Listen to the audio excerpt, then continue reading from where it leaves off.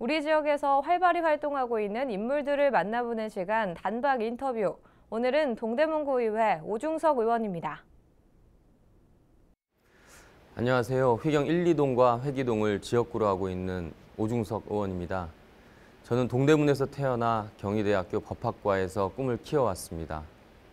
저희 가족도 신설동 동회장을 하셨던 증조 할아버지부터 4, 4대째 동대문에서 뿌리를 내리고 살았습니다. 그리고 6년 동안은 국회의원 비서관으로 중한 정치를 통해 전문성을 키워왔습니다. 또한 갈등 해결사라고 불리는 공인 노무사가 되어 동대문 지역사회 고용 창출위원회 위원장으로 일했지만 더 큰 봉사를 꿈꾸고 있습니다.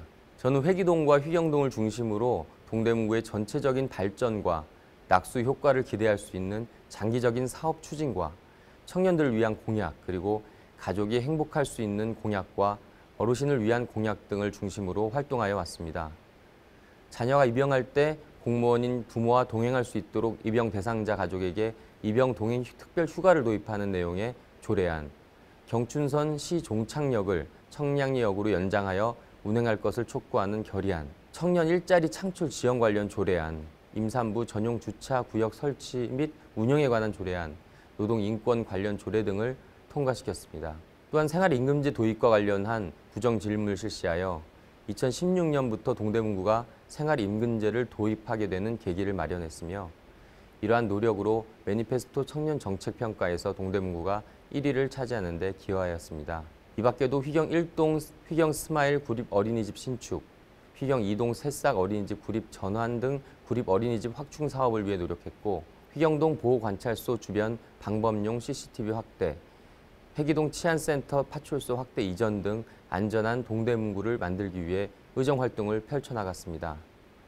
그리고 2016년 제266회 정례회 시 2017년 동대문구의 예산을 최종 심의하는 기구인 예산결산 특별위원회 위원장을 맡아 활동하였습니다. 청년층은 경제 발전 과정에 누적된 모순으로 절박한 정책적 요구가 넘쳐나지만 정치권에 대한 불신이 깊어 소통과 연대가 쉽지 않습니다. 대학교가 밀집되어 있는 동대문구의 청년들로부터 우선 피부로 느낄 수 있는 조례를 재개정하여 청년들의 일자리 창출을 실시하고 미래 세대의 주역으로 나갈 수 있도록 발판을 마련해 주어 동대문과 젊은 도시로 나갈 수 있도록 노력하겠습니다.